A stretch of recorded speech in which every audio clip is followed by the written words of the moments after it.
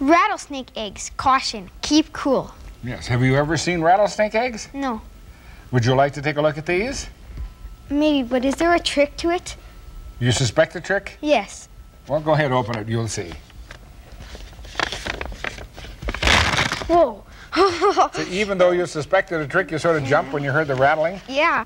This is um, a sort of trick that's been played by children since probably way back to your grandfather's day because they've been making them all the time. And here's what this is, a piece of wire. This happens to be a big paper clip, okay? And then, see at the end here, you make two little uh, holes by twisting it with the pliers. And then what's this? It's a washer. Yeah, in fact, two of them to get some extra weight. And then, And then it's two elastic bands. right, now, when you wind them up, you're putting kinetic energy into the system. Do you know what the word kinetic means? Um, yes. What? It means that it's, um, it's like, stop. It's what? It's, um, kinetic. motion. It's motion. moving. moving. Motion. In fact, that's where the word uh, cinema comes from. The same root, you know, Mm. because it's motion pictures, right? In fact, this trick is is um, very similar to many of the tricks. Have you ever opened a can and there's a big snake that jumps out?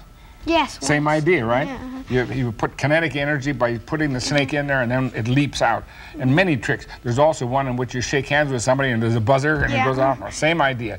You put kinetic energy into it and now when you put it in the envelope like this, it has potential energy. What does that mean? It means like it's, uh, stop.